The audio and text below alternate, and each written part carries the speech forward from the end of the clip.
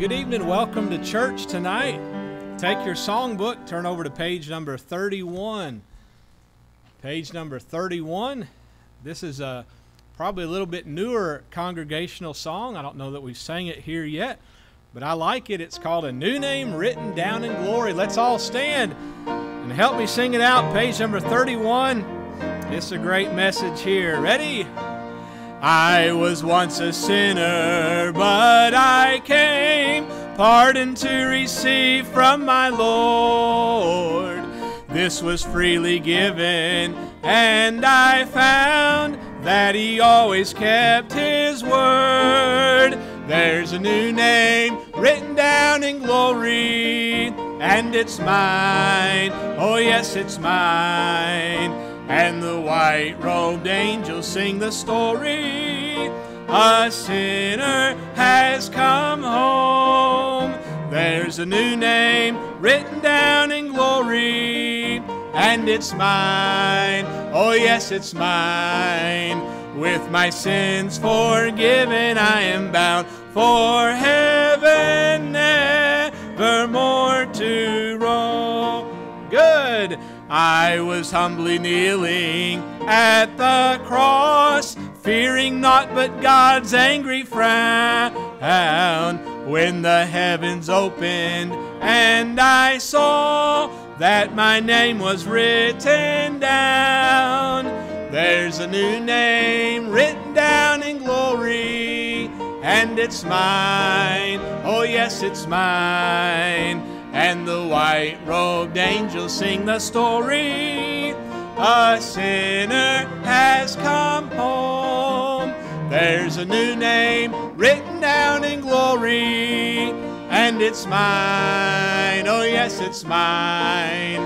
With my sins forgiven, I am bound for heaven, nevermore to roam.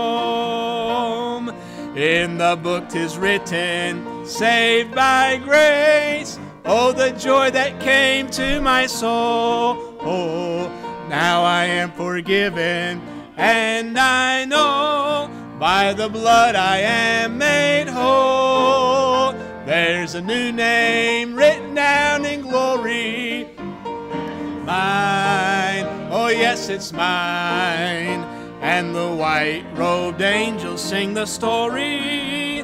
A sinner has come home, for there's a new name written down in glory, and it's mine. Oh, yes, it's mine. With my sins forgiven, I am bound for heaven, nevermore to Y'all sound good tonight, and the young people, y'all singing really well, and I enjoyed that song. That's a uh, the Bible says there's uh, rejoicing in heaven over one sinner uh, that repenteth. I believe is is how the Scripture goes, and uh, sure is a blessing to know that my name's written down, and I hope yours is, and that's a blessing. Let's pray. And we'll look forward to our time together tonight. Thank you, Lord, for this evening. We are very thankful for your blessings. We're thankful for your watch care over us this week. And Lord, especially thankful for heaven tonight. We thank you so much for shedding your blood for us. You didn't have to, but you loved us. You sent your Son, and we're so thankful to know for sure that we're going to heaven tonight. Father, I pray that you'd meet with us in the service tonight. We uh, look forward to our time together, a fellowship. Lord, we thank you for the Word of God that we can open tonight and that we can study your Word. I pray that you'd bless uh, the Patch Club. Father, help those that couldn't be here tonight. We uh, pray that you give them a blessing, those that are uh, sick and just uh, physically not able to be here. Lord, bless them, we pray. Lord, be careful to give you all the honor and all the glory for what you do. In Jesus' name, amen. And amen. You can be seated. Well, I hope you've had a good week. It's been a little bit wet the last couple days, but praise the Lord for the rain. It's been dry, dry, dry, and I'm thankful for the rain. And uh, I don't know if the farmers are now. They were probably hoping to get all their crops out first, but nonetheless, it is what it is. And uh, they probably needed a little bit of a rest anyway. And uh, but thank the Lord for for the rain and just uh, the many blessings. Amen. It's been good. I sure enjoyed our uh, service on Sunday, our missions emphasis day. and just a blessing to be in church. Uh, let's go ahead and see if anybody needs a prayer card real quick. Just hold your hand up if you need a prayer card. And uh, looks like we got them covered. Brother Caleb, uh, Brother Kerry, I think we've got it covered. Uh, Brother Carol has those, so get that. And uh, then we'll let the Patch Club go on and be dismissed. So you have to write fast, Caleb. I'm just teasing you. I'm just teasing. okay, very good. I do want to say thank you for the your commitments to faith, promise, and missions. And uh, we're uh, so far we've got the commitments come in, and we're uh, right on target to uh, to stay where we've been, and and hopefully, prayerfully increase a little bit. I think from the number of commitments turned in that there are some new folks on board this year, and that's a blessing. Of course, don't know names, but there were a lot of cards turned in. We're thankful for that, and so I encourage you to to begin giving to Faith Promise Missions. But thank you for that. Thank you for your faithfulness on Sunday, and it was a great day. And do pray for the Harrises. They are in a meeting tonight over in Huntsville at Brother Gibson's church, and uh, they they pulled out. They Miss Harris wasn't feeling the greatest today. She had dialysis yesterday, and so that takes a little bit out of her. But she was able to go to the meeting tonight with her husband. Praise the Lord for that. They'll be flying out in the morning and uh, taking them to the airport at 8 o'clock in the morning, and they have a noon flight. So praise the Lord, is able to get a midday flight and not a super early flight for them, and it worked out great. but pray for them. And there's not a whole lot of announcements uh, tonight, but uh, uh, just to be faithful to church on Sunday, if you're able to come out uh, Saturday, soul winning, and uh, plan to try to do a Bible handout this week. If I can get all the everything lined up for that. And then, um, if you haven't got a missionary list, you probably did Sunday, but there's some more on the back table, and so you can grab those. Oh, and then I wanted to say thank you to those that help uh, to to give towards the meals for this week, and uh, we just uh, were able to uh, just feed the Harrises like kings this week. They've ate so much while they've been here, and uh, we we've enjoyed that. And and they they extend their thank you. They just have felt overwhelmed uh, with the kindness. a very good love offering came in Sunday. Uh, we're able to give them a check for $1,000 on Sunday. So praise the Lord for that. And that sure helped them with, uh, with their travel expenses and the needs, and, and, that was a blessing. So thank you from them, and uh, that, was, that was such a blessing. Uh, and then don't forget about the election in November. Uh, you can grab a ballot there on the back table. And I need to really just sit down and try to figure out all the things that are going on. I've not done that yet. I've glanced over it, uh, but that'll be here before you know it. Time really sneaks up on us, and so uh, that's a blessing. I want to say thank you to the Peevlers. How many have enjoyed uh, the vegetables all uh, all the last several months? I have. We've enjoyed them, and so thank you for that. That's been a big blessing. And well, the uh, table is now empty, amen. And so I think the season has run its course, but that was a blessing. Sure enjoyed all that. It's sure good to see you tonight. I'm thankful for you being here in church. Let's take our song book and we'll turn over to page number 284. 284, A Shelter in the Time of Storm. Let's sing this song tonight and then we'll take up our offering. Page 284. The Lord's our rock, in Him we hide, a shelter in the time of storm. Secure whatever ill betide, a shelter in the time of storm. Oh, Jesus is a rock in a weary land, a weary land, a weary land. Oh, Jesus is a rock in a weary land, a shelter in the time of storm. On that third, the raging storms may round us beat, a shelter in the time of storm. We'll never leave our safe retreat, a shelter in the time of storm. Oh, Jesus is a rock in a weary land, a weary land, a weary land. Oh, Jesus is a rock in a weary land, a shelter in the time. O rock divine, O refuge dear, a shelter in the time of storm. Be thou our helper ever near, a shelter in the time of storm. Oh, Jesus is a rock in a weary land, a weary land, a weary land. Oh, Jesus is a rock in a weary land, a shelter in the time of storm. All right, we'll take our offering tonight. Brother Carey, would you lead us in prayer, please?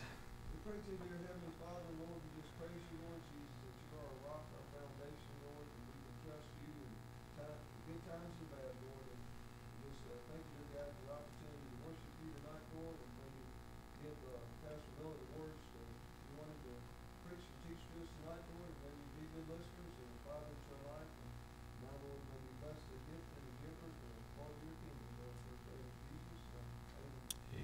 Amen.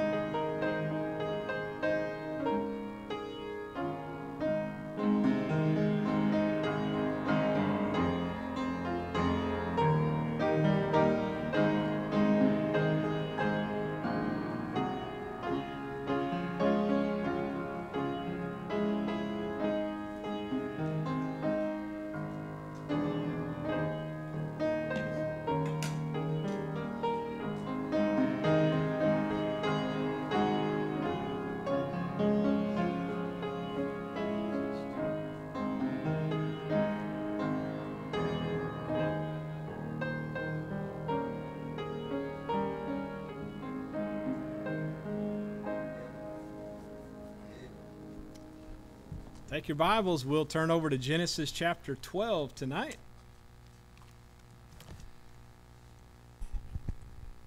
Genesis chapter 12. We'll continue our Wednesday night study. The life of Abraham and his walk by faith.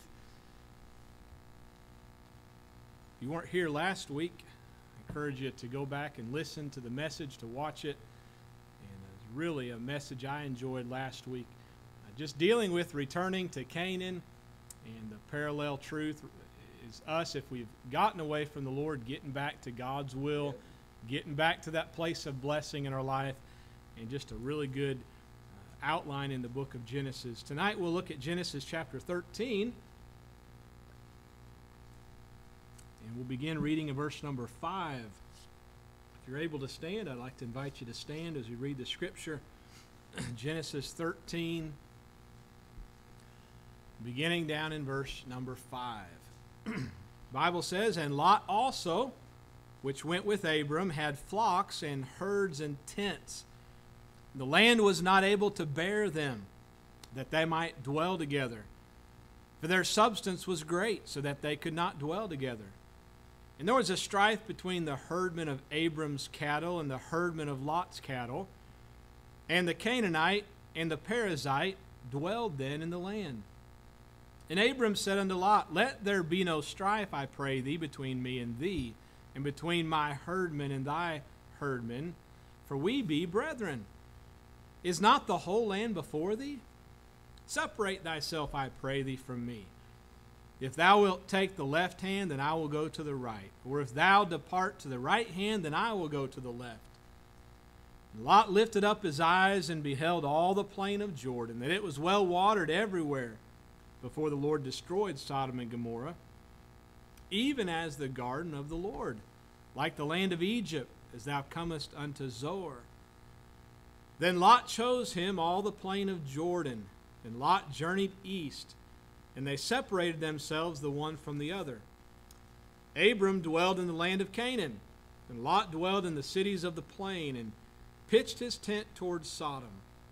But the men of Sodom were wicked and sinners before the Lord exceedingly. And we'll stop with that verse tonight. I want to preach these verses and teach uh, this thought tonight Abraham's trouble with Lot. And they had a feud here, they had some things that just caused them to separate. And we'll talk about these verses tonight and draw some truths from it. Thank you, Lord, for this time to open your word. Lord, I pray that you'd help us as we read the Bible tonight, as we study it, to give us understanding, and Lord, to give us something that we can learn from, be reminded of, that will help us in our Christian life, that will help us as a church. Father, I pray you'd help me as I preach. Lord, give me clarity of mind. Lord, I sure need your help tonight. In Jesus' name, amen. And you can be seated. Well, we see a pretty familiar part of their story here. I think we all know this part in the life of Abraham that there came a time when Abraham and Lot they could no longer dwell together. It kind of reminds me of those two fellas that uh, that met and said this this city ain't big enough for the two of us. Somebody's got to go, and it ain't going to be me, right? Uh, that's kind of what happened here. They came to a point where they could no longer stay in the same area. Now, for Abraham, uh, this just seems like it's another part of his life, another up and down in his journey of faith. We know that he had went to Egypt. That was a journey downward. And then we saw last week how he uh, went back up to Canaan. That was an upward journey. And now he's back on top side, if you will. And then we find here now he's, uh, well, he's got another down, uh, downward part in his life. And he's facing some difficulty here. And he has a conflict between he and Lot, which, of course, is family. Isn't it amazing as we go through life, many times there will be conflicts with, well, it's family. We don't always intend that, but sometimes it happens. And this was his nephew Lot. Now, uh, this conflict uh, was, was, you know, a conflict that was going to have serious consequences. And they, uh, they probably didn't know at the time how serious the consequences were. But I want to look at uh, how this conflict was settled. And this will be the focus of the thought tonight. Uh, we'll not get in uh, really to much about uh, Sodom and the land that, uh, that Lot chose and went to, although that was a very wicked city. But we're going to look at how this conflict was resolved. And we understand as a, as a human, as a Christian, we're going to have times in our life, and unfortunately, more times than we want, when conflicts come up when difficulties come up, uh, things that'll come up within the church and we'll have to deal with, things that'll come up within the family and we have to deal with conflicts in our family or uh, at the workplace or different different places. Now, here's the truth about conflicts. How we deal with conflicts uh, really reveals our true character. It's amazing how when difficult times come, you really find out what people are made of. That's just the truth. Uh, you find uh, as they deal with conflicts, if they deal with them the right way or the wrong way, if things get heated, if things blow up, it really gives you an insight to the true character of that person. And the truth is, when we're under pressure, pressure has a way of revealing who we really are. Who we really are. I know they teach you in, in training and in law enforcement. And, and I just had a short, a short time where I got to be a chaplain with the sheriff's department years ago, and they teach you in some of the trainings when that adrenaline hits, the only thing you're going to have to rely on is the training that you've been through. It's going to have to be just like second nature to you. That's why you have to train and train and train and, and, and do things repetitive over and over and over. Because when that adrenaline rush comes and that vision begins to, to, uh, to tighten and you get that tunnel vision, you better make, you better hope you've had good training because uh, you, you want to do things that are that are that are just come off off of uh, out of habit and uh, same thing with the christian with our life as we go through troubles and difficulties it's going to reveal who we really are So here's uh, some things from these verses tonight uh, dealing with Abraham's trouble with Lot. Number one, we see in verses 5 through 7, we see the problem here, the problem that, that, that came up. Uh, the, the, the problem was there wasn't enough room in the land for both Abraham and Lot. And part of the problem, or the cause of the problem, we're just going to talk about the problem first here the cause of the problem was, well, it was their things, it was their possessions. The Bible says in verse 5 that they had flocks and herds and tents. And the Bible says the land was not able to bear them, for that they might dwell together, for their substance was great, so they could not dwell together. Uh, and, and again, this is not necessarily a bad thing but the cause of the problem was their things. It was their stuff. They had too much stuff. They had uh, too many possessions. There wasn't room for them. Now, things are not wrong as long as they're controlled by the right spirit. As long as they're controlled by the right spirit. Uh, we have talked about money before, and money in itself is not necessarily wrong, but the Bible says the love of money yeah. is the root of all evil. And of course, we can see that's true in our land today. Things in themselves aren't necessarily wrong as long as they're controlled by the right spirit. But it's when our things that we have control us, then it's uh, that's when we're headed for trouble. You can take a child, for instance, and they will just get so wrapped up into something, almost to the point where they just they're addicted to it. Maybe it's that new game that they got. Of course, we live in the day and age of electronics, so all the kids love the electronics and video games. Those aren't necessarily bad things, but when all of a sudden they control them, that's all they can think about. They don't do anything else. They can't get their mind wrapped around anything, doing their chores, doing their homework. Well, then there's a problem when the things control us, that when it begin, that's when it begins to be a problem. Matthew 6, verse 19 and through 21 tells us, Lay not up for yourselves treasures upon earth, where moth and rust doth corrupt, and where thieves break through and steal. But lay up for yourselves treasures in heaven, where neither moth nor rust doth corrupt, where thieves do not break through nor steal. For where your treasure is, there will your heart be also. Uh, principles about well, what are we living for in life? Is it the things? Is it, is it the possessions? Well, the truth is this you're not going to take it with you. You're not going to. I thank the Lord for a businessman. He's still living, he's, he's elderly now. His name is Russell Anderson.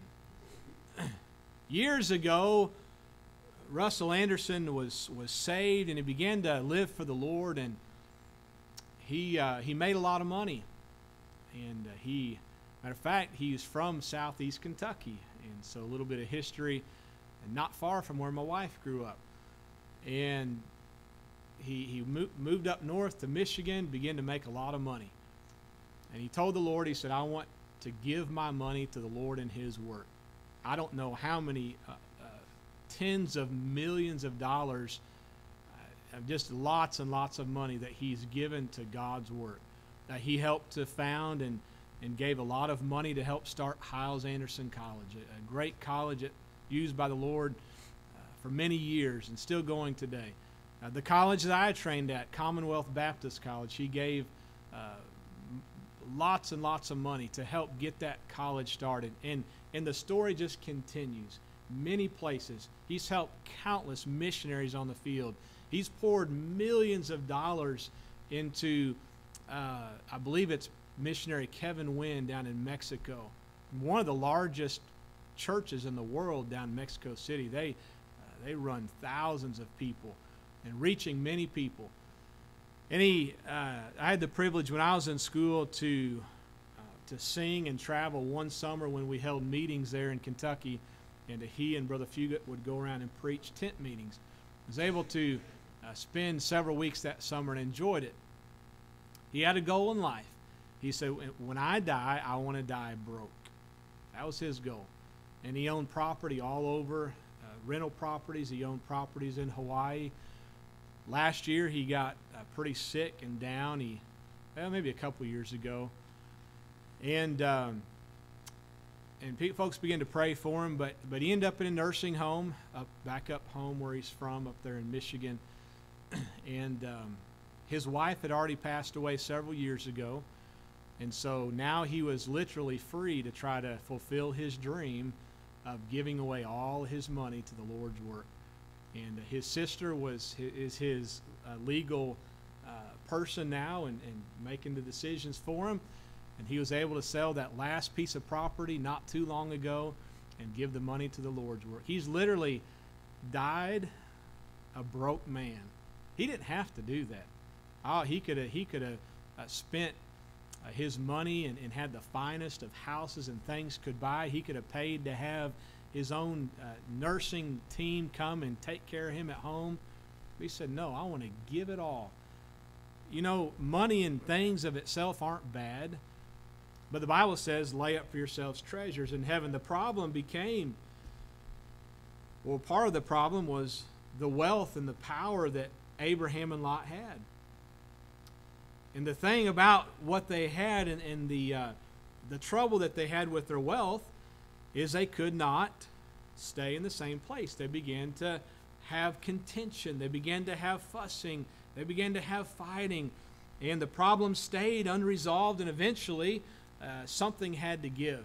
They had way too many cattle, they had way too many herdsmen to dwell in the same land. And so we see how Abraham and Lot responded to this crisis, revealed their true character. And, um, and so here's what we're going to look at secondly. We're going to look at the proposal that Abraham made. Notice Abraham's character and what he said. He said in verse number 8, I, I don't want to fuss and fight. He told Lot, he said, Let there be no strife. Um, he said, We're brethren. In verse number 9, he said, Is not the whole land before thee?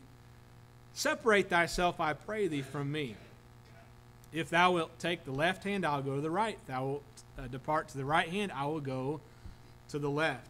So, Abraham, he said, I've got a proposal here to make. And we can see his heart right away. Uh, and, and he said, I don't want there to be fussing and fighting between us. I don't want there to be strife. He said, We're, we're brethren. So he made a proposal and he wanted to bring peace. And uh, this is important about Abraham to know that he responded in a gracious spirit when he dealt with contention. He didn't come out fighting and, and with the gloves up, ready to, uh, to go 10 rounds. Uh, that wasn't the way Abraham was. He said, uh, Listen, Lot, he said, I want to live in peace. And here's why. He said, There's a couple reasons why we need to live in peace. And this is a couple reasons why we ought to want to live in peace today as a church family and in our own family. First of all, he said, We are brethren. Well, actually, I like the way he said it better. He, better, he said, We be brethren. That's how he said it. He said, Hey, Lot, we be brethren. Uh, what, what are we fighting for? We be brethren. Brethren should love and respect one another. Oh, listen, we we try to stress this point at our home, and some days we feel like we fail. hey, listen, these are your brothers. This is your sister. Hey, I'm your, your parent. You're, you're my child. We want to get along. The Bible says in honor, preferring one another. John chapter 13 and verse number 35, Jesus told his disciples, By this shall all men know that ye are my disciples, if ye have love one to another. You know what defines a Christian? You know what defines a disciple of Jesus Christ?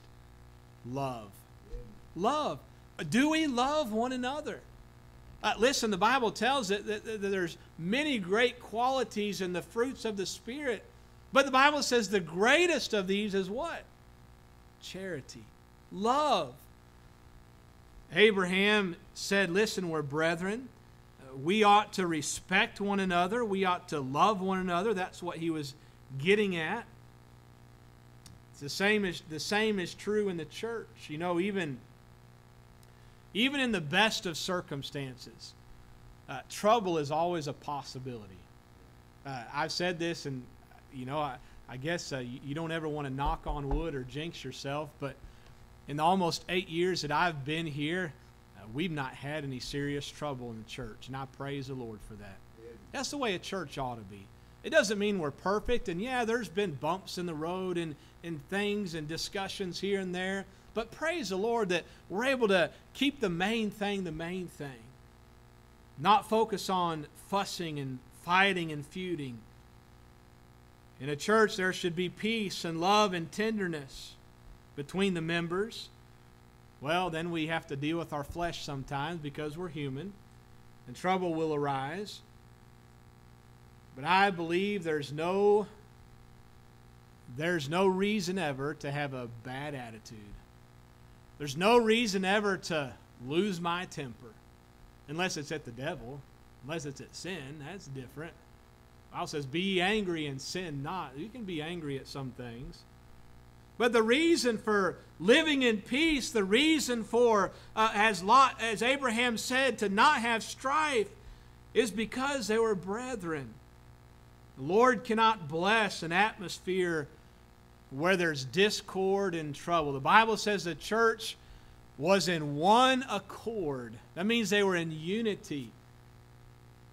The best way that we can practice unity is to practice these difficult things the Bible teaches, and that is to forgive and to forget.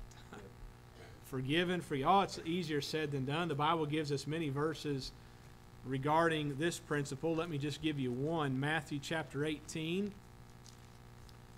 in verse number 21. Matthew 18 21. Scripture tells us Then came Peter to him and said, Lord, how oft shall my brother sin against me, and I forgive him? Till seven times? Jesus saith unto him, I say not unto thee until seven times, but until 70 times seven. Oh, and it's just like us as a church member to keep count, too, isn't it? And we get to that 70 times 7, 490 times. Okay, I've forgiven you the last time, and I'm not going to forgive you that 491st time. Well, that's not what the Bible means by that. It means this Christ forgave you over and over. And we ought to forgive each other. Understand it doesn't mean that you let someone take advantage of you. Doesn't mean that you let someone trample over you, use you as a doormat. But in my heart, this is where the this is where the decision's made. In my heart, I just forgive that person. Uh, I may have to make some hard decisions and separate myself from somebody, but in my heart, I don't need to hold grudges. I don't need to hold anything uh, against them that would keep me from being right with God. Forgive and forget. It's a great thing to learn. It's a great thing when you can practice forgiving and forget, forgetting. So they were, uh, Abraham wanted them to have peace because they were brethren, but also there's another reason. In verse number 7, we see in the last part of that verse, the Bible says, And the Canaanite and the Perizzite dwelled then in the land. You see, the Canaanites were living around them at this time. And this presented a problem. Not only was it a problem within the family, there was a conflict within the family, but also it meant this that there was others that were watching. It wasn't just a family thing now that they're dealing with. There's eyes on the outside watching. There's people watching how I get along with each other. Not only were they watching, but this presented a problem to them. I think it, personally, I think it put Abraham and Lot in danger. You see, the Canaanites, the Perizzites, they were watching and they were warlike people. And I think if they saw an opportunity to attack Abraham and Lot, they would have done that.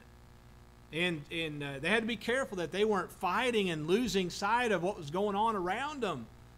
And, and when you get so focused on fighting in each other, uh, you, you your vision becomes uh, narrow and, in tunnel vision, you're just all you can think about is that other person and how they did you wrong, and you lay in bed and that's all you think about at night. Your your focus is getting off of the rest of the world and the rest of things.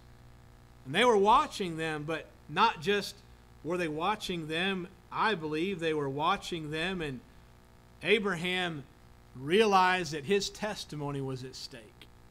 The world is watching. We saw already in the previous chapter that Abraham blew it with his testimony. He blew it with Pharaoh. He lied to him.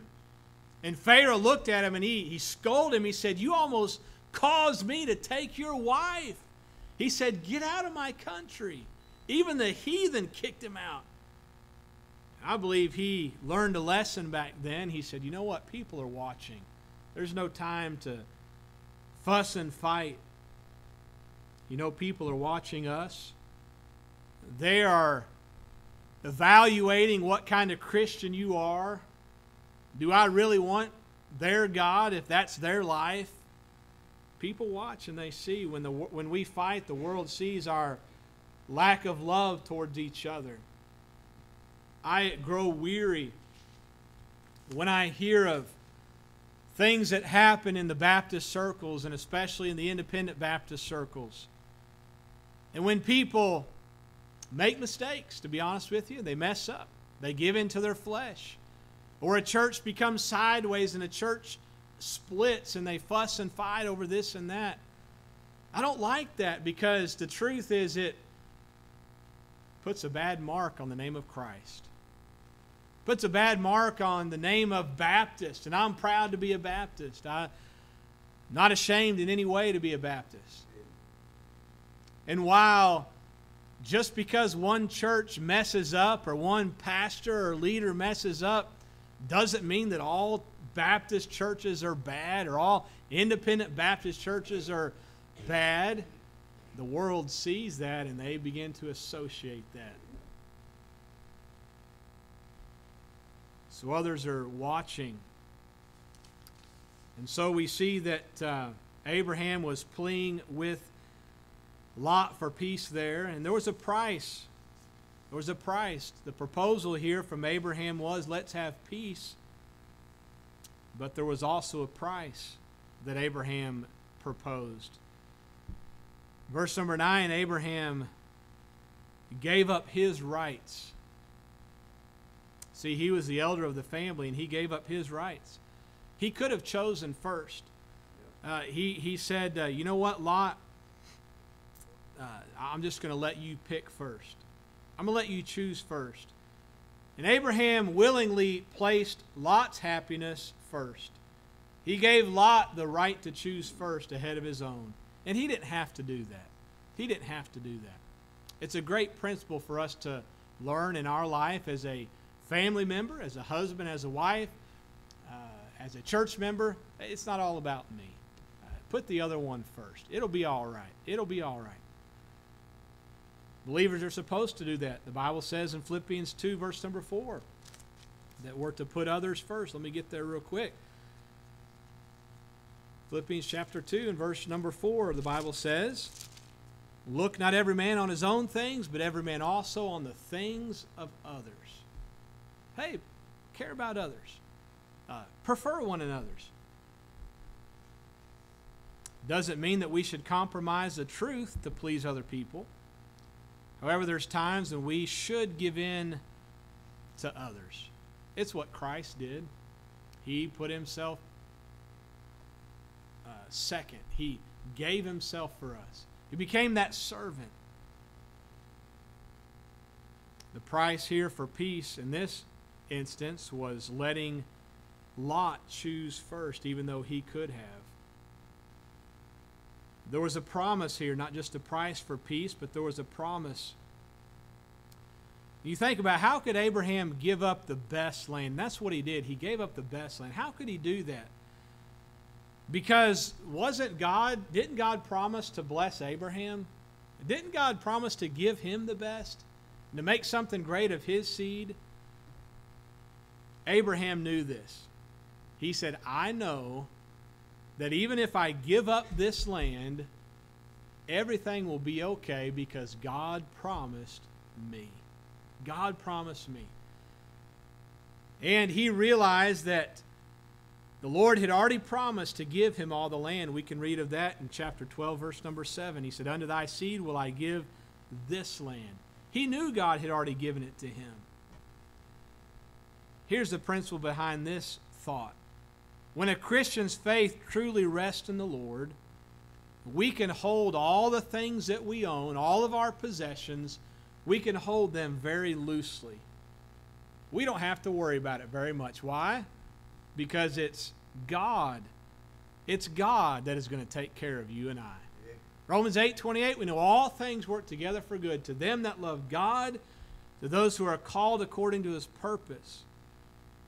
We understand that if God has promised us something, he's going to come through with it. Aren't you glad we don't have to go to bed at night worrying if God's going to take care of us, worrying if he's going to meet my needs? We may feel like we have compromised and we've had to give something up even though we didn't want to. But know that God is looking after my best interest. Abraham didn't get mad. He didn't get bitter when he didn't get his way. He just simply said, I want to work this problem out. That's, that's the way of Christ. It's not about me, it's, it's about what is the best? What does God want? And so we see here, number one, we said Abraham uh, and the problem here. Number two, the proposal of Abraham. But we see, number three, and lastly, the tragic plan that took place. The tragic plan. In verses 10 through 13, we see that Lot made his choice. Lot made his choice. And the Bible says he lifted up his eyes and beheld all the plain of Jordan, that it was well watered everywhere before the Lord destroyed Sodom and Gomorrah. Even as the garden of the Lord, like the land of Egypt, as thou comest unto Zoar. Then Lot chose him all the plain of Jordan. The tragic ending to Lot's life is this Lot lived by sight. He lived by sight. We're dealing with, in this series on living by faith. We live by the principles of God. We live by faith. We say, Lord, I'll trust you day in and day out for everything in my life. I don't have to understand it. I just trust you. I'll live by the principles found in your word. Lot, however, lived by sight. He made his decision based upon what he saw. Uh, the Bible says that he looked and he said, I'll take the land that looks best to raise my cattle on. I'll take the land that looks best to raise my herds on.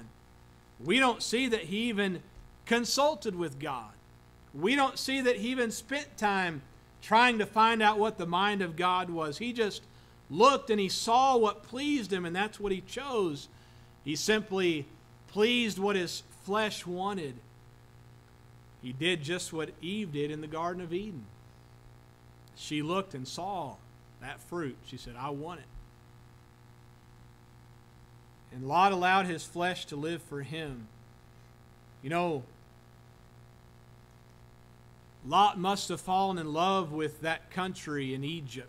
He was down in Egypt. The Bible says Abraham and all his family went there. Lot must have been with him in Egypt there. He must have learned some of the things of the world down in Egypt. Lot must have fallen in love with that country.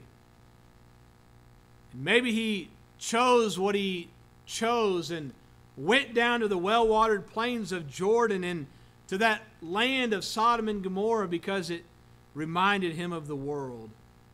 And may we be reminded tonight it's a dangerous thing to fulfill the lust of the flesh.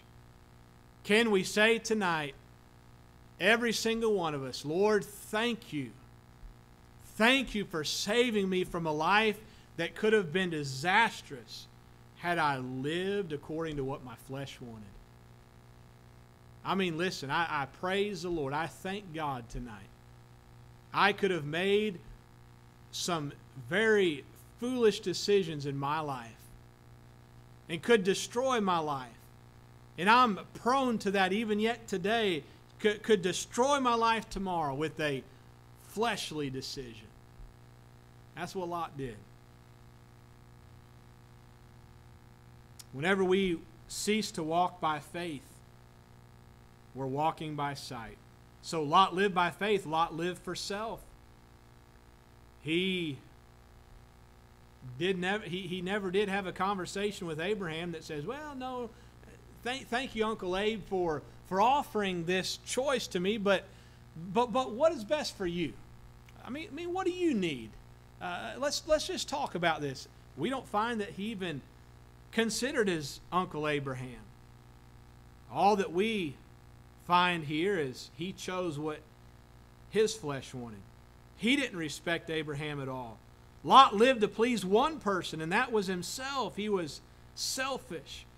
And he's a perfect description of many people today in our society that we live in. Sadly enough, that trickles in to the Christian home, and this same feeling or, or this description trickles into the church, and it's this everything is about my rights. It's about what I want. It's about what I need. It's about my life. And if you're a Christian tonight and you have that attitude, you will not please the Lord with your life. My life cannot be about me.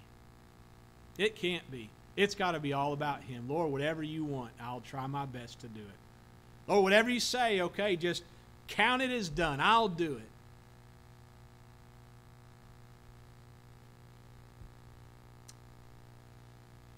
We'll uh, always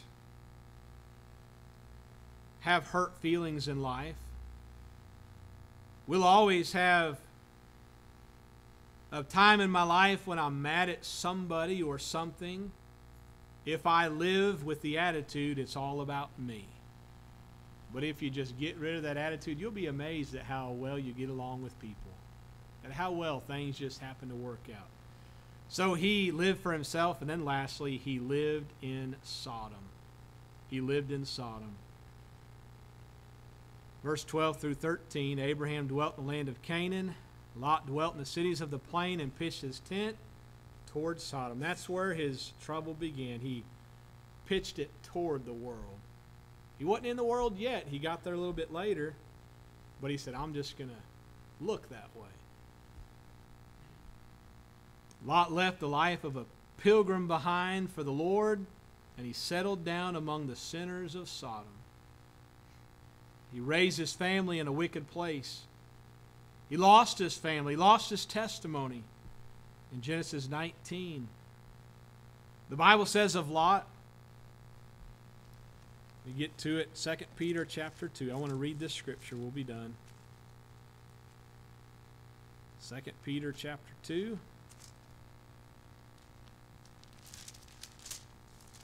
We often look at Lot and we give him a bad name. we remember him by the end of his life.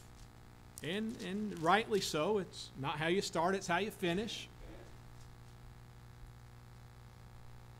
2 Peter chapter 2, verse number 7, and delivered just Lot, vexed with the filthy conversation of the wicked.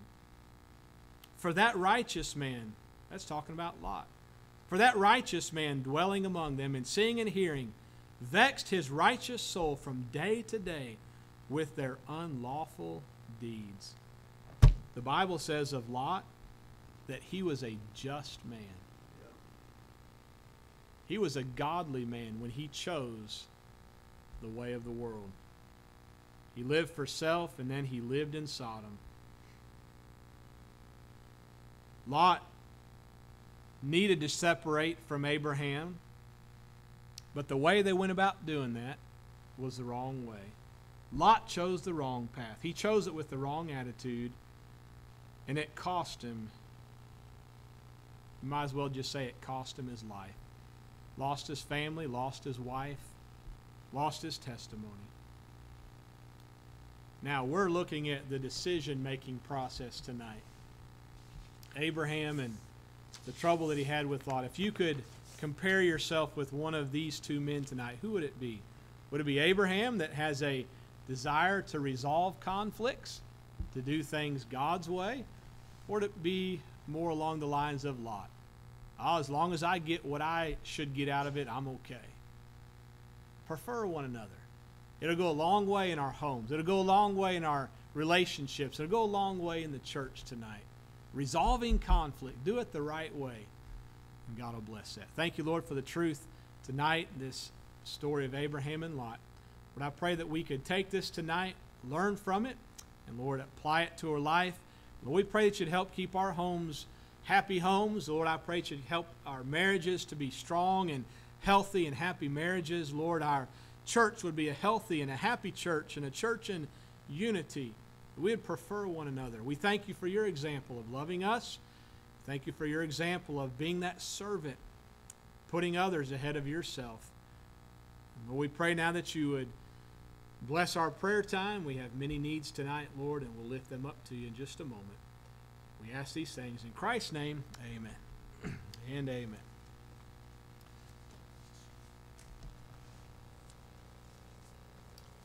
All right, we'll get our prayer list out, close out the service here. Our prayer time.